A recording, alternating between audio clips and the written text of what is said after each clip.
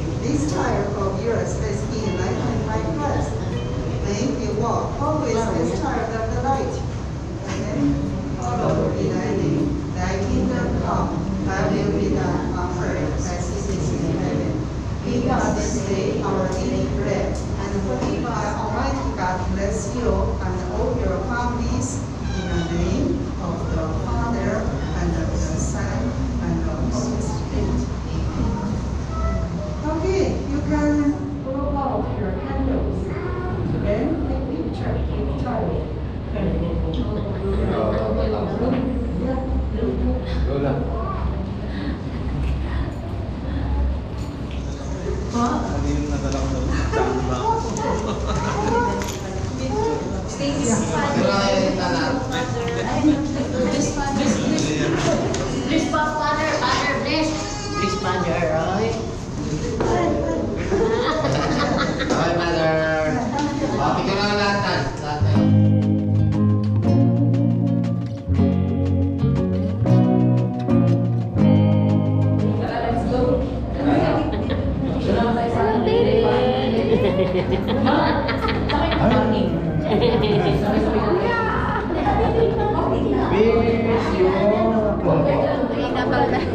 Abang wala ko ulan. Buti niya